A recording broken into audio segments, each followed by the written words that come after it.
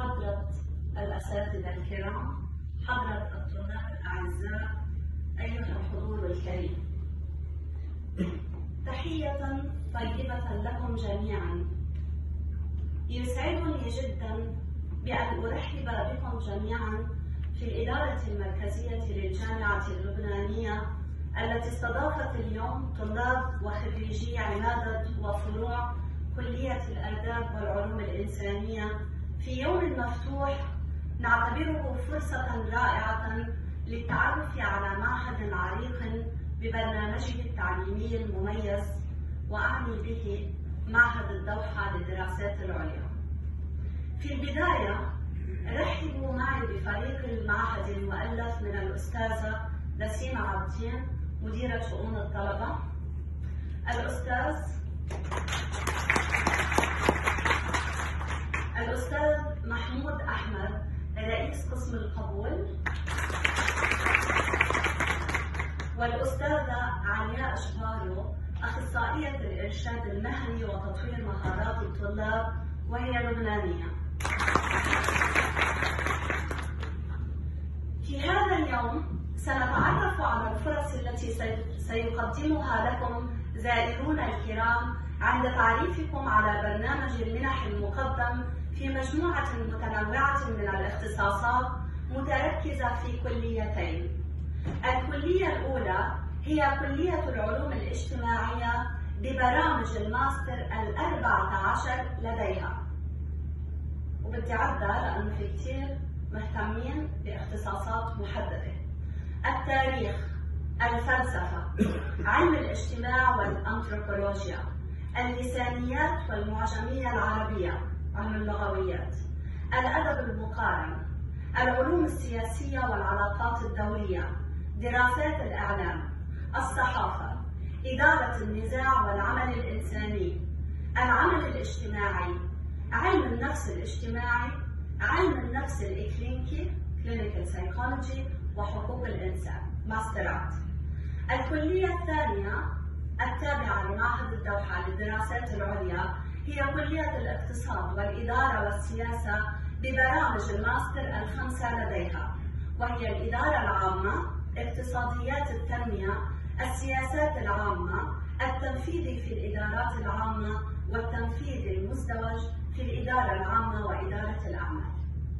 لن أطيل الحديث عن إنجازات المعهد لأنني سأعطي الكلام لضيوفنا الأعزاء ولكنني سأتحدث عن أكثر ما لفت انتباهي في عناوين تميز هذا المعهد ألا وهو تفوق الباحثين والخريجين حيث أن 62% من مقالات وأبحاث أساتذة المعهد تم نشرها في القائمة الأولى Q1 بعطي مش الحال آه سأتحدث عن أكثر ما لفت انتباهي في عناوين تميز المعهد. ألا وهو تفوق الباحثين والخريجين حيث أن 62% من مقالات وأبحاث أساتذة المعهد تم نشرها في القائمة الأولى Q1 التي تضم أكثر من 25% من المقالات البحثية في مجال تخصصهم وذلك في قاعدة بيانات Scopus Index Journals. وهي نسبة أعلى من متوسط النسبة التي بلغت 46% في الدول العربية و54.4% عالميا وقد أكمل حملة درجة الماستر في معهد الدوحة دراساتهم في السلك الأكاديمي في برامج دكتوراه وبجامعات دولية أذكر منها the University of Edinburgh, University of Andrews, Utrecht University in the Netherlands, Philip Marburg University in Germany, Goldsmith London, Frye University of Berlin, York University, University of Exeter, Queen University, University of Ottawa, University of Arizona, University of Utah, Syracuse University, Birmingham University, University of Sussex, Friedrich Schiller University, Jena, and University of London. هذه بعض الجامعات التي درس خريجو معهد الدوحة فيها في مستوى الدكتوراه. وبرأيي إن الإنجاز الأكبر لمعهد الدوحة هو متابعة المسار المهني للخريجين عبر تزويدهم بكل المهارات اللازمة للحصول على وظائف في مؤسسات دولية عريقة من ضمنها منظمة اليونيسف، البنك الدولي، منظمة الهجرة الدولية، شركة KPMG للاستشارات، مؤسسة Oxfam، مؤسسة Action For Humanity، مؤسسة بيو Worldwide، مؤسسة قطر والهلال الأحمر والإغاثة الإسلامية وشبكة الجزيرة الإعلامية ومعجم الدوحة التاريخي للغة العربية. ولدينا أستاذة في الفرع الأول تعمل على هذا المعجم ومؤسسة قطر للعمل الاجتماعي وهيئة تنظيم الأعمال الخيرية القطرية ومتاحف قطر واللجنة الوطنية القطرية لحقوق الإنسان. على المستوى الشخصي وكعميدة لكلية الآداب والعلوم الإنسانية.